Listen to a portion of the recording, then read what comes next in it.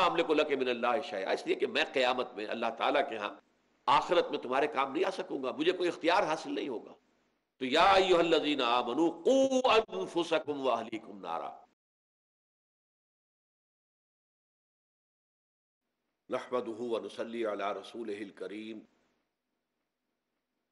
اما بعد، فقد قال الله تبارك وتعالى كما ورد في الركوع الثاني من سورة التحريم أعوذ باللہ من الشیطان الرجیم بسم اللہ الرحمن الرحیم یا ایوہ الذین آمنوا توبوا إلى توبتا نسوحا عسى ربكم من يكفر عنكم سيئاتكم ويدخلكم جنات تجري من تحتها الأنهار. يوم لا يخزي الله النبي والذين آمنوا معه. نورهم يسعى بين أيديهم وبأيمانهم. يقولون ربنا أتمم لنا نورنا واغفر لنا إنك على كل شيء قدير.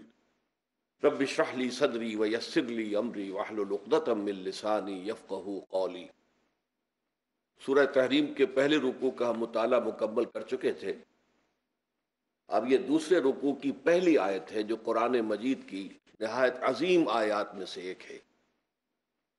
اور اس میں توبہ کا مضمون آیا ہے بڑے اہتمام کے ساتھ۔ یا ایوہ الذین آمنوا توبوا الاللہ توبتا نسوحا اے وہ لوگوں جو ایمان لائے ہو، اے ایمان کے مدعیوں دعوے دارو توبہ کرو اللہ کی جناب میں، لیکن وہ توبہ خالص ہونی چاہیے۔ توبتا نسوحا اس سورہ مبارکہ کے پس منظر کو نوٹ کیجیے۔ تو اس میں ایک خطائے اجتہادی کہہ لیجیے، حضور سے ہو گئی تھی صلی اللہ علیہ وسلم۔ اگرچہ وہ خطا جانب خیر میں تھی، اچھے کام کے لیے تھی، برے کام کے لیے نہیں تھی، کہ آپ نے اپنی ازواج متحرات کی دل جوئی کے لیے ایک شے جو اللہ کی طرف سے آپ کے لیے حلال تھی، اس کو استعمال نہ کرنے کی قسم کھا لی۔ تو اس پر حضور کو روکا گیا، یا ایوہ النبی لما تحرم ما حل اللہ لکا تبتغی بردات ازواجک؟ اے نبی، کیوں آپ اپنے اوپر حرام ٹھہراتے ہیں؟ وہ شے جو اللہ نے آپ کے لیے حلال قرار دیے کیا آپ اپنی بیویوں کی رضا جوئی کے لیے ایسا کر رہے ہیں؟ اللہ غفور الرحیم، اللہ غفور ہے، رحیم ہے۔ اللہ نے آپ کی اس خطا سے درگزر کیا ہے، لیکن قد فرض اللہ لکم تحلت ایمانکم۔ اللہ تعالیٰ نے راستہ تمہارے لیے کھول دیا ہوا ہے کہ ایسی قسموں کو کھولا جا سکتا ہے، جس کے لیے کہ سورہ معاہدہ کے اندر کفارہ دے دیا گیا۔ تو گویا کہ حضور کو یہاں حکم دیا جا رہا ہے کہ آپ اپنی اس قسم کا کفارہ دیجیے، قسم کا، اور یہ جو قسم ہے اس کو کھول دیجیے۔ نمبر دو پہ پھر دو ازواج متحرات کا معاملہ آیا کہ حضور نے ایک راز کی بات کہی ایک زوجہ محترمہ سے، لیکن انہوں نے وہ راز جو ہے وہ دوسری زوجہ محترمہ کو پہنچا دیا، جن میں زیادہ آپس میں قریبی تعلق تھا۔ تو گویا کہ یہ بھی ایک طرح سے خیانت ہو گئی، اس لیے کہ راز جو ہے وہ تو ایک امانت ہوتا ہے۔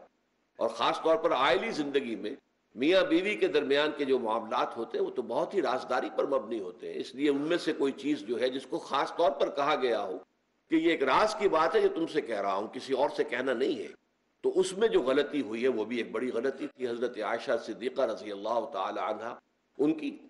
تو ان دونوں کے پس منظر میں پھر تیسری بات آئی کہ اہل ایمان اگر تم غافل ہو اپنے اہل و عیال کی طرف سے اس اعتبار سے کہ ان کا کردار کیسا بن رہا ہے؟ وہ اللہ کے بندے ہیں یا کوئی غلطیاں کر رہے ہیں، خطا کر رہے ہیں؟ تو دیکھو، یہ تم ان کے ساتھ جو ہے، وہ محبت نہیں کر رہے، عداوت کر رہے ہو۔ اس لیے کہ تمہاری اس نرمی، تمہاری اس شفقت اور ان محبت کے اندر اس درجے بڑھ جانا کہ اس میں اللہ تعالیٰ کے جو حرام کردہ امور ہیں، ان میں بھی تم ملوث ہو جاؤ۔ تو یہ گویا کہ در حقیقت تم اپنے آپ سے بھی دشمنی کر رہے ہو اور ان سے بھی دشمنی کر رہے ہو۔ اپنے آپ سے دشمنی کر رہے ہو کہ تمہاری آقبت خراب ہوگی۔ ان سے دشمنی کر رہے ہو کہ ان کی اگر تربیت غلط ہو جائے گی تو گویا کہ وہ جہنم کا نوالا بنیں گے۔ اب اس تین چیزوں کے پس منظر میں فرمایا جا رہا ہے، یا الذین توبو الاللہ توبتا نسوحا اے ایمان والو، اے ایمان کے دعوے دارو، اللہ کے جناب میں توبہ کرو، لیکن توبہ خالص نسوحا پہلی بات تو یہ جانیے میں نے بھی یقیناً پہلے بھی عرض کیا ہوگا، لیکن دہرانے میں کوئی حرج نہیں ہے۔ عربی زبان میں یہ دو الفاظ بہت قریب ہیں۔ آبا یعوب اوبن اور تابا یتوب توبن یا توبتن۔ آبا یعوب اوبن بھی ہوتا ہے واپس لوٹنا۔ لیکن یہ ہے کسی یعنی مادی چیز کی طرف سے واپس لوٹنا۔ ایک ہے تابا یا توب توبن یا توبتن۔ وہ کسی فیل سے مانوی چیز سے پلٹ آنا، لوٹ آنا۔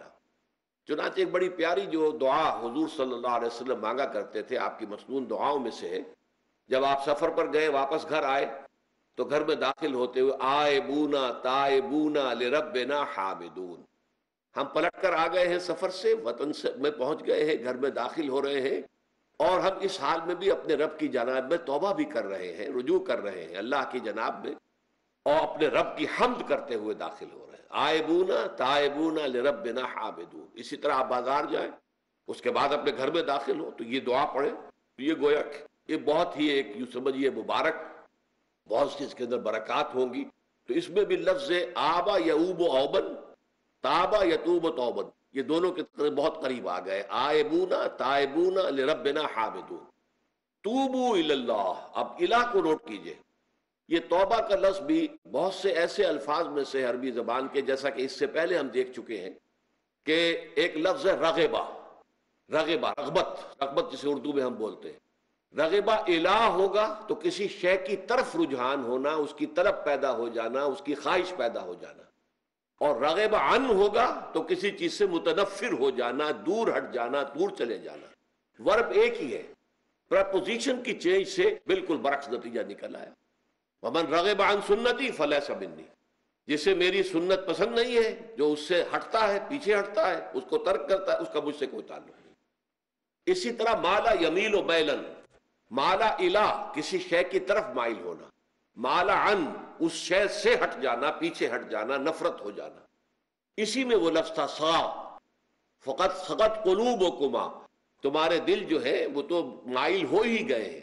سگا بھی الہ ہوگا تو اس کے معنی کسی شے کی طرف مائل ہو جانا۔ ان ہوگا تو کسی شے سے متنفر ہو جانا۔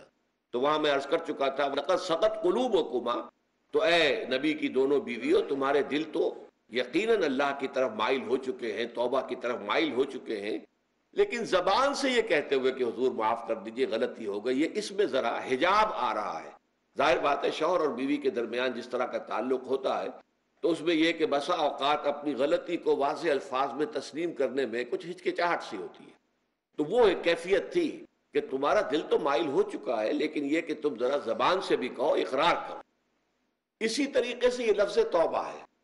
توبہ الہ ہے، کسی کی جناب میں توبہ کرنا۔ جب اللہ تعالیٰ کی طرف توبہ کا لفظ آئے گا، تو توبو اللہ توبت اللہ کی جناب میں توبہ کرو۔ اور جب اللہ تعالیٰ توبہ کرتا ہے، یہ لفظ جو ہے دو طرف استعمال ہوتا ہے۔ طواب بندہ بھی ہے طواب اللہ بھی ہے۔ اللہ طواب ہے، بہت توبہ کا قبول کرنے والا۔ بندہ طواب ہے، بہت زیادہ توبہ کرنے والا۔ وہ حدیث میں آپ کو سنا چکا ہوں۔ کلو بنی آدم خطاون و خیر الخطائین التوابون تمام بنی آدم نہایت خطا کار ہے گناہ گار ہے غلطیاں ہوتی ہیں، خطائیں ہوتی ہیں۔ لیکن ان خطا کاروں میں بہتر لوگ وہ ہیں جو بہت توبہ کرنے والے رجوع کرتے پلٹتے ہیں۔ ان میں پشیمانی پیدا ہو جاتی ہے اور وہ اللہ تعالیٰ کی جناب میں رجوع کرتے ہیں۔ تو وہ تواب ہیں، بہت زیادہ توبہ کرنے والے لیکن اللہ کی جناب میں توبہ جب بندہ کرتا ہے تو وہ الہ آئے گا تابا الہ۔ اس نے توبہ کی اللہ کی جناب میں۔ اللہ توبہ کرتا ہے یعنی اللہ تعالیٰ جو ہے اپنی نظر شفقت اور نظر رحمت جو پھیر دی تھی اس نے کہ ایک بندے نے گناہ کیا ہے، میرے حکم کی جو ہے خلاف ورزی کی ہے معاشیت کا ارتکاب کیا ہے، تو اللہ تعالیٰ اپنی رحمت اور شفقت کی نگاہ اس سے ہٹا لیتا ہے۔ لیکن جب بندہ توبہ کرتا ہے، تو پھر اللہ تعالیٰ بھی رجوع فرماتا ہے اور اپنی شفقت اور رحمت اور مغفرت کے ساتھ بندے کی جانب متوجہ ہو جاتا ہے۔ لیکن وہاں تابا آلہ آئے گا۔ تم علینا، اے پروردگار، ہماری توبہ کو قبول فرما، وہ اللہ کے ساتھ آئے گا۔ ہم جب توبہ کریں گے تو وہ الہ کے ساتھ آئے گا۔ تو یہاں فرمایا، توبو اللہ اللہ کی جناب میں توبہ کرو، پلٹو، رجوع کرو، اور توبتن نسوحا خالص توبہ. اس کی جو وضاحت تھوڑی سی میں ابھی کر چکا ہوں کہ خالص توبہ سے مراد کیا ہے؟ یہ نہیں کہ بس توبہ کا ورد ہو رہا ہے اور توبہ جو ہے، وہ اس کے کلمات زبان سے ادا کیے جا رہے ہیں۔ بعض لوگ ہیں، وہ جو آیت کریمہ ہے، اس کا سوا لاکھ کا ہو رہا ہے گرد ہو رہا ہے، کتنا ہو رہا ہے، اس کی تصویر پڑھ رہے اس سے کچھ نہیں ہوتا۔ جب تک کہ دل کے اندر گناہ سے نفرت پیدا نہ ہو جائے، حقیقی پشیمانی نہ ہو کہ یہ مجھ سے بہت غلط حرکت سرزد ہوتی رہی ہے، پختہ ارادہ نہ ہو کہ آئندہ یہ کام نہیں کروں گا یا کروں گی، اور یہ کہ بالفعل بھی اس کام کو چھوڑ دے۔ یہ تین شرطیں کم سے کم ہیں ان چیزوں میں کہ جو حقوق اللہ میں سے، اللہ تعالیٰ کے حقوق۔ وہ حدیث بھی میں آپ کو سنا چکا ہوں کہ تم اندازہ کرو، ایک شخص ہے کہ جو ایک ریگستان میں لکودق صحرا میں سفر کر رہا تھا، اس کا ایک اونٹ تھا جس پر وہ سفر کر رہا تھا، اسی پر اس کا جو بھی راستے کا کچھ کھانا وانا تھا، خوراک تھی وہ بھی، اس کی پوٹلیاں بھی تھیں اور پانی کی چھاگل بھی بندی ہوئی تھی۔ تھوڑی دیر کے لیے وہ ایک درخت کے سائے میں بیٹھ گیا استراحت کے لیے۔ وہ اسی میں آنکھ لگ گئی اس کی۔ اب جب آنکھ کھلی تو دیکھا کہ اونٹ غائب۔ اب اونٹ گویا کہ اس کی زندگی کا واحد سہارا، کہاں جائے گا بغیر اونٹ کے؟ اس دوڑا دائیں بائیں، شمال، جنوب، مغرب، مشرق، سب میں کہیں جہاں تک وہ کر سکتا تھا، اسے کہیں اونٹ نظر نہیں آیا۔ تو پھر وہ اسی درخت کی سائے میں آ کر بیٹھ جاتا ہے، موت کے انتظار میں کہ اب تو موت ہی آئے گی۔ نہ کھانے کو کچھ، نہ پینے کو پانی، نہ سواری کہ میں کہیں یہاں سے نکل سکوں۔ اچانک دیکھتا ہے کہ وہ اونٹ تو کھڑا ہوا ہے اور وہ سامان بھی موجود ہے۔ تو اس میں فرق مسرت کی وجہ سے، خوشی اتنی شدید ہوتی ہے اسے کہ وہ کہنا تو یہ چاہتا ہے، اللہ میں تیرا بندہ ہوں، تو میرا رب ہے۔ لیکن وہ کہہ یہ بیٹھتا ہے، اللہ میں تیرا رب ہوں، تو میرا بندہ ہے۔ یعنی اتنا وہ اپنے اس میں حواس کھو بیٹھتا ہے خوشی کی وجہ سے۔ اتنی ہی خوشی ہوتی ہے اللہ تعالیٰ کو اپنے کسی گناہ گار بندے کی توبہ سے۔ اب آپ اندازہ کیجیے، یہ ہے جو تشبیح حضور صلی اللہ علیہ وسلم نے توبہ کی عظمت کے لیے بیان کی۔ تو اس کے حوالے سے اور میں آپ کو فلسفے کے طور پر بھی بتا چکا ہوں کہ بہت بڑی غلطی جو ہے جیسے ان دونوں صورتوں کا جو مرکزی مضمون میں نے بتایا تھا کہ خاندانی زندگی میں دو انتہائی کیفیات پیدا ہوتی ہیں۔ یا میاں بیوی کی موافقت نہیں ہو رہی تو آخری حد ہے طلاق۔ یا یہ ہے کہ اتنی محبت ہو گئی ہے کہ محبت کی وجہ سے شریعت کی حدود کے اندر رد و بدل ہو رہا ہے۔ تو پہلے موضوع کے اوپر سورہ طلاق ہے اور دوسرے موضوع کے اوپر سورہ تحریم ہے۔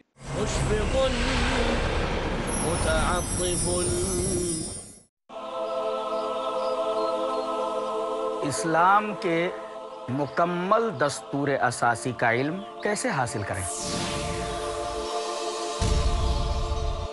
سماج اور ملک کے لیے ایک مفید انسان بننے کا لاہ عمل کیا ہے؟ دنیا اور آخرت کی کامیابی کے لیے اور اللہ کی پکڑ سے بچنے کے لیے ہمیں کیا کرنا چاہیے؟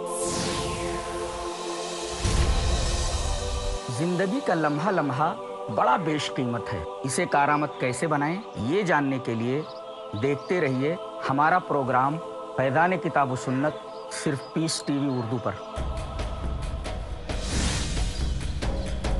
جانیے، ہماری زندگیوں کو کامیابی سے ہم کنار کرنے کے لیے ہیں کن احکام پر عمل کی ضرورت؟ فیضان کتاب و سنت۔ ہر بدھ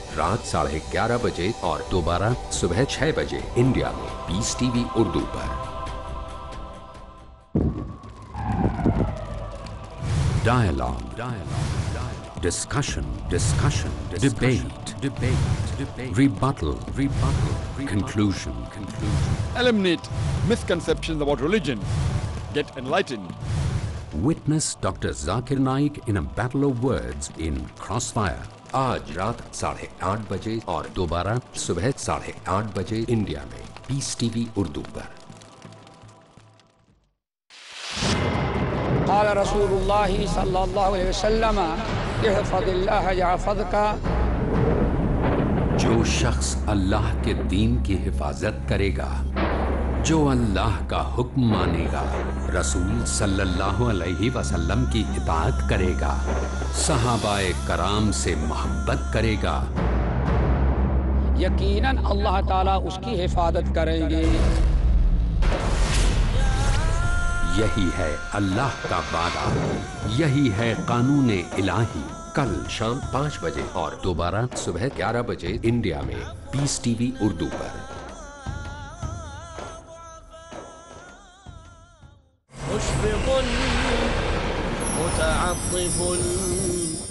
طلاق کے معاملے میں بھی عیسائیوں سے جو بہت زیادہ غلطی، بہت بڑی سرزد ہوئی وہ یہ ہے کہ حضرت عیسیٰ نے یہ فرمایا تھا کہ جو شخص اپنی بیوی کو طلاق دیتا ہے، گویا کہ ناحق، وہ گویا کہ اس سے زنا کرواتا ہے۔ یعنی یہ کہ طلاق ہو گیا اس کو۔ اب وہ بیچاری جو ہے وہ بے شوہر کے ہے۔ عام طور پر متعلقہ سے کوئی شادی نہیں کرتا۔ تو اب اس کے فتنے میں مبتلا ہونے کا امکان موجود ہے۔ وہ زناکاری پر آمادہ ہو سکتی ہے۔ تو جس شخص نے اسے غلط طلاق دی تھی، در حقیقت وہ ذمہ دار ہوگا اس زناکاری کا جو وہ کر رہی۔ یہ اصل میں ایک اخلاقی تعلیم تھی، جس کو کہ انہوں نے قانونی سمجھ لیا اور طلاق کا دروازہ بند کر دیا۔ حالانکہ شریعت موسوی میں طلاق کا راستہ کھلا تھا، جیسے شریعت محمدی میں۔ کہ اگر کوئی صورت ایسی ہے کہ مزاج نہیں مل رہا ہے تو ٹھیک ہے، علیحدہ ہو جاؤ سیپریشن کا راستہ کھلا ہوا ہے۔ لیکن یہ کہ یہ بھی نہیں ہے کہ گھر کے اندر چک چک ہوتی رہے چپکنش چلتی رہے، گھر کے اندر چین نہ رہے، راحت نہ رہے، باہمی اعتماد نہ ہو۔ اور پھر بھی وہ بندن بندہ رکھا جائے، اس کا کوئی فائدہ نہیں۔ تو یہی معاملہ در حقیقت عیسائیوں نے اس حد تک بڑھایا کہ حضرت آدم اور ہوا سے جو خطا ہو گئی تھی، وہ خطا جو ہے، وہ تو ہر انسان دنیا میں جو آتا ہے تو خطا کار ہے۔ وہ اپنے آبا و اجداد، اپنے اما ہوا اور اپنے ابا آدم کی خطا لے کر اپنے ساتھ پیدا ہو رہا ہے، تو گناہ گار ہے۔ Man is sinful from the very birth اب اس کا کیا علاج ہو پھر؟ وہ تو اس کا علاج ڈھونڈا۔ کہ اللہ نے اپنا کلوتا بیٹا زمین پر بھیج کر اور اسے ان لوگوں کی طرف سے کفارہ بنا لیا کہ جو ہمارے اس بیٹے پر ایمان لے آئے۔ یہ سارا عقیدہ بنا فاسد الفاسد کیوں ہوا کہ توبہ کے بارے میں تصور ان کا غلط ہو گیا۔ قرآن مجید نے واضح کیا کہ غلطی تو ہوئی تھی، حضرت آدم و ہوا سے۔ شیطان کے بہکانے میں آ گئے تھے۔ لیکن یہ کہ پھر انہوں نے توبہ کی۔ توبہ علیہ، اللہ نے اس کی توبہ قبول فرما لی۔ فتلقى آدم من ربه کلمات فتاب علیہ تو آدم نے اپنے رب سے کچھ کلمات سیکھ لیے۔ پشیمانی تو ہو گئی تھی، شرمندگی ہو گئی تھی، لیکن الفاظ نہیں مل رہے تھے۔ کن الفاظ میں میں اللہ کی جناب میں توبہ کروں؟ اللہ کی کمال شفقت کے اللہ نے وہ الفاظ بھی انہیں تلقین کر دیے، جو سورہ عراف کے اندر بیان ہوئے ہیں۔ ربنا ظلمنا انفسنا و وَإِلَّمْ تَغْفِرْ لَنَا وَتَرْحَمْنَا لَنَكُونَنَّ مِنَ الْخَاسِرِينَ اللہ نے توبہ قبول فرما لی، فتاب علیہ۔ اب جو بچہ پیدا ہو رہا ہے نسل آدم کا، وہ کوئی اپنے جد امجد جو ہے حضرت آدم اور حضرت حوا کے گناہ کی پوٹ لے کر نہیں آتا ہے، وہ تو کل مولود یولد علی الفطرہ، فطرت الاسلام پہ پیدا ہوتا ہے۔ تو توبہ کی در حقیقت جو عظمت اور حقیقت ہے ہمارے دین میں، اس کو نہ سمجھنے سے بھی بہت بڑی غلطیاں لوگوں سے ہو جاتی ہے۔ تاریخ انسانی میں اتنی بڑی بڑی غلطیاں ہوئی ہیں۔ طلاق کے معاملے میں بھی عیسائیوں نے پھر یہ کیا کہ سوائے اس کے کوئی شکل نہیں ہے کہ بیوی زنا کار ہو، تو پھر تو طلاق ہو جائے گی سیپریشن ہو جائے گی۔ لہذا جو طلاق دینا چاہتے تھے وہ ایسے مواقع پیدا کرتے تھے کہ بیوی زنا کرے۔ یا یہ کہ جھوٹی گواہیاں فراہم کرتے تھے زنا کاری کی اور پھر اس سے چھٹکارا حاصل کرتے تھے۔ اس کے بغیر چھٹکارا حاصل کرنے کی کوئی شکل نہیں۔ اس پہ بڑے بڑے افسانے جو ہیں، وہ مغربی لٹریچر کے اندر آپ کو ملیں گے کہ عورت سے نجات پانے کے لیے انہیں پھر یہ کرنا پڑتا کہ جھوٹے طور پر جھوٹا الزام تہمت لگا کر اس کے اوپر زنا کا الزام ثابت کرے۔ یا یہ ہے کہ اسے واقعتا خود ایسے حالات میں ڈال دے کہ وہ زانیہ بن جائے اور پھر اس سے نجات حاصل یہ گویا کہ پھر وہی بنا فاسد الفاسد۔ ایک غلط بات کے اوپر دوسری غلط بات کہی۔ تو توبو اللہ توبتا نسوحا توبہ کرو اللہ کی جناب میں جو کہ خالص توبہ۔ خالص توبہ میں تین شرائط میں نے بیان کر دی۔ کہ اگر اللہ کے حقوق میں معاملے میں کبھی بیشی ہوئی ہے، تو پھر یہ ہے کہ پشیمانی حقیقی، عزم مسمم دوبارہ نہیں کروں گا، نہ کروں گی۔ اور نمبر تین یہ کہ ایک مرتبہ اس گناہ کو لازمن چھوڑ دینا۔ اس کے بعد جو ہے اگر یہ حقوق العباد میں سے ہے، تو ایک چوتھی اضافی شرط ہے۔ یا تو اس کی تلافی کرو، اس کا پیسہ مارا تھا تو پیسہ دو۔ بہن کا حق جو ہے وراثت میں کھایا تھا تو اس کو ادا کرو۔ یا اس سے معافی حاصل کرو۔ یا پھر ایک شکل ہو سکتی ہے کہ اگر وہ فوت بھی ہو گیا ہے، اب کوئی شکل نہیں ہے، اس کی طرف سے صدقہ و خیرات کرتے رہو۔ اللہ، یہ میں کر رہا ہوں، اس کے حساب میں اس کو جمع کر دے اور میری جو کوتاہی تھی، اس کو معاف فرما دے اس کو جو ہے وہ ڈیبٹ کریڈٹ ہو جائے گا۔ ورنہ پھر آخرت میں یہ ہوگا کہ آپ کی نیکیاں اس کے حوالے کی جائیں گی۔ یا آپ کے پاس نیکیوں کا ذخیرہ بھی کافی نہ ہوا تو اس کے گناہ آپ کے پلڑے میں ڈال دیے جائیں گے۔ اور اسی کو حضور نے فرمایا کہ میری امت کا اصل مفلس وہ ہے۔ آپ نے پوچھا، اتدرون من المفلس؟ آپ لوگ جانتے ہیں کہ مفلس کون ہوتا ہے؟ تو صحابہ نے وہی جواب دیا جو ہم میں سے ہر جواب دے گا، المفلس و اندنا من لا درہم لہو ولا دینارا۔ ہمارے نزدیک ہم مفلس اس کو کہتے ہیں جس کے پاس درہم و دینار نہیں ہے، روپیہ پیسہ نہیں ہے۔ حضور نے فرمایا، نہیں۔ میری امت کا مفلس وہ ہوگا جو قیامت کے دن حاضر ہوگا۔ بہت سی نمازوں کی وہ پنڈ لے کر آئے گا، وہ گٹھڑی لے کر آئے گا، گٹھڑا لے کر آئے گا۔ اور روزوں کا، اور اس کا، اور حجوں کا، اور عمروں کا۔ لیکن بقت شت بہذا و اکلا مال ہاضا اس نے مال کھایا تھا فلاں کا، حرام طریقے سے۔ فلاں کو گالی دیتی تھی، فلاں پر تومت لگائی تھی۔ حقوق و لباد کے اندر جو ہے، اس کی عزت پر حملہ کیا تھا۔ وہ سارے مدعی جمع ہو جائیں گے۔ اللہ تعالیٰ کسی سے کہے گا، بھائی، تم اس کی نمازیں لے جاؤ۔ کسی سے کہے گا، اس کے روزے لے جاؤ۔ اچھا تم لو حج لے جاؤ۔ اس کے عمرے لے جاؤ۔ اس کے بعد بھی مدعی باقی ہوں گے۔ تو اب مدعیوں کے گناہ اس کے پلڑے میں ڈالے جائیں گے۔ اور پھر وہ دوسروں کے گناہوں کے بوجھ تلے دب کر جہنم میں جھونک دیا جائے۔ گا تو یہ حقوق العباد کے اندر معاملہ اس سے بھی کہیں زیادہ سخت ہے کہ جو حقوق اللہ کا ہے۔ اللہ تو بڑا غفور ہے، رحیم ہے، اس کے اندر وہ رعایت بھی کرے گا۔ لیکن حقوق العباد کا معاملہ اللہ کہہ دے گا، یہ میرا معاملہ ہے ہی نہیں۔ یہ تمہارا آپس کا معاملہ ہے، تمہیں اس میں تو جو بھی ہے، لین دین کر کے ہی معاملہ چکانا ہوگا، دے دے کر معاملہ ہوگا، اس کے بغیر نہیں۔ تو توبو اللہ توبتا نسوحا عسا ربکم ان یکفر عنکم سیئاتکم۔ این ممکن ہے اسا اصل میں امید دلانے کے لیے ہوتا ہے، شاید کہ ایسا ہو جائے۔ لیکن جب اللہ کی طرف سے یہ لفظ آتا ہے تو یہ یقینی معنی، یقینی وعدے۔ اللہ کا وعدہ ہے، اگر تم یہ توبہ نسوح کرو گے تو اللہ کا وعدہ ہے تم سے کہ وہ تم سے تمہاری برائیوں کو دور کر دے گا۔ یہ تکفیر کے لفظ کو بھی سمجھ لیجیے۔ کفر کا اصل معنی ہے چھپا دینا، دبا دینا۔ اسی لیے گناہ کا کفارہ ہوتا ہے۔ آپ سے گناہ ہو گیا آپ نے کفارہ دے دیا تو گناہ چھپ گیا، دب گیا، اس کے اثرات زائل ہو گئے، وہ آپ کے نام اعمال سے اس کو ختم کر دیا جائے گا۔ یہ ہے کفارہ۔ کفار جمع ہے کافر کی۔ کافر جو ہے وہ حق کو چھپاتا ہے۔ اللہ کی دعوت جو دی جا رہی ہے، اس کو دباتا ہے۔ تو اس معنی میں وہ کافر ہے، انکار کرتا ہے۔ لیکن یہ کہ ایک کفران نعمت ہے۔ کسی نے آپ پر احسان کیا ہے اور آپ اس کا احسان نہیں مان رہے، آپ کے لیے دل میں، اس کے لیے کوئی احسان بندی کے جذبات پیدا نہیں ہوئے، تشکر کا جذبہ پیدا نہیں، یہ کفران نعمت ہے۔ تو تکفیر اس کو بھی کہتے تکفیر اسے بھی کہتے ہیں، مسلمان امت میں سے کسی کو نکال دینا۔ اس لیے کہ وہ بنیادی عقائد میں علیحدہ ہو گیا ہے۔ تو یہ پرجنگ ہے، یہ بھی تکفیر ہے۔ تو تکفیر اعمال کیا ہے؟ کہ برے اعمال کو دھو دے گا تمہارے نام اعمال سے۔ اور نمبر دو، تمہارے دامن کردار سے بھی دھو دے گا۔ جو غلطیاں تمہارے اوپر چلی آ رہی تھی اتنے عرصے تک تم کرتے رہے ہو، تمہارا کردار جو ہے اس سے مقدر ہو گیا ہے، اس کے اندر جو ہے خرابی پیدا ہو گئی ہے، تو اللہ اس کو بھی دھو دے گا۔ تو دنیا میں بھی تکفیر کا اثر ہوگا کہ انسان کی اصلاح ہو جائے گی، اس کی اس کی سیرت و کردار جو ہے صحیح رخ پر آ جائیں گے۔ اور آخرت میں یہ ہے کہ اس کا جو آبال نامے میں جو گناہ درج تھا، وہ وہاں سے صاف کر دیا جائے گا، محو کر دیا جائے گا۔ یہ تکفیر دو گنا ہے اور اس میں جو ہم سورہ الفرقان میں پڑھ کر آئے ہیں، وہ اس سے بھی اگلی بات ہے۔ الائے کا یبدل اللہ سیئات حسنات۔ جہاں گناہ کا اندراج تھا، وہاں اب نیکی کا اندراج ہو جائے گا۔ تمہاری سیرت و کردار میں جو گناہ کا پہلو تھا، وہ اب نیکی کے پہلو میں بدل جائے گا۔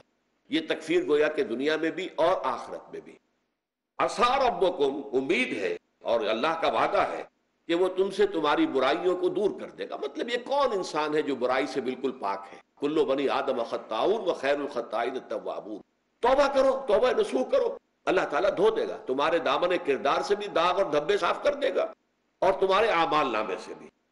وہ یدھ خلا کم جنات ان تجریب تحت الانہار اور تمہیں داخل کرے گا ان باغات میں، جن کے نیچے یا جن کے دامن میں ندیاں بہتی ہوں گی۔ یوم لا یخز اللہ النبی والذین آمنوا معه۔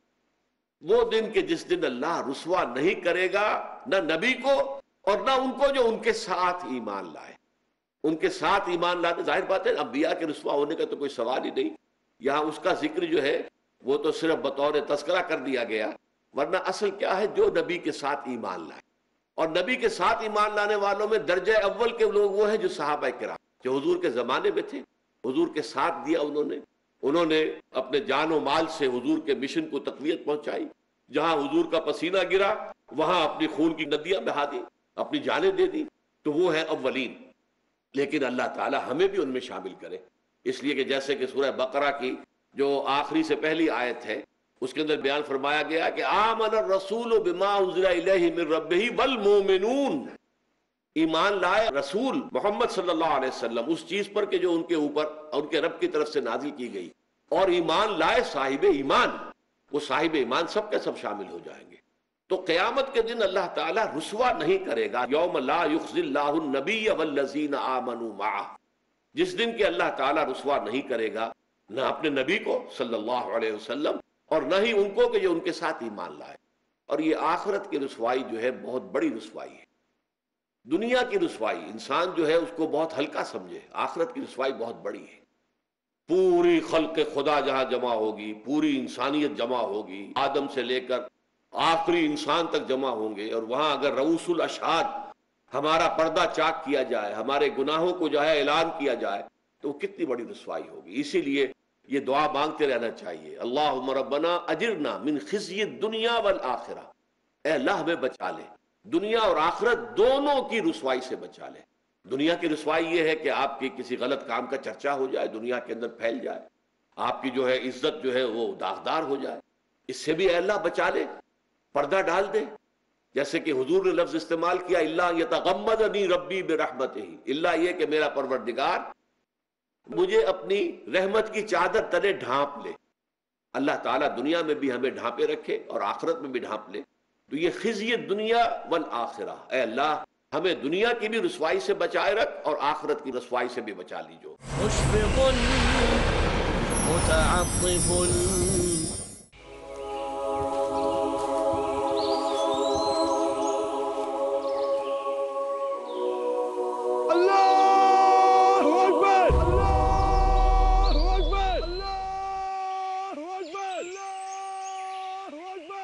یہ دنیا کا دستور ہے کہ آپ جو بھی اسے دیں گے، آپ کو واپس حساب سے ملے گا۔ مگر جو مال آپ اللہ کی راہ میں دیں گے، اس کا اجر آپ کو بے شمار ملے گا۔ کیونکہ یہ اللہ کا وعدہ ہے۔ آئیے، آپ بھی بے حساب اجر و ثواب کے مستحق بن جائیے۔ پیس ٹی وی اردو کا تعاون کریں۔ آپ اپنی زکوٰۃ اور امداد کی رقم بھیج سکتے ہیں۔ I R F I Al Rayan bank quadrant code 48 Calthorpe road Birmingham UK, postcode B151TH, pound account number 0132301 euro account number 0132302 US dollar account number 0132303 sort code 300083, SWIFT BIC code IBOBGB22, IBAN